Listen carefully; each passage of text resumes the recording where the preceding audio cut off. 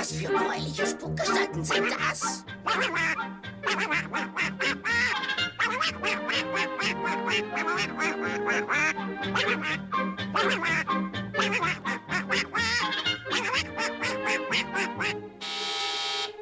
Oh, oh, die Jungs!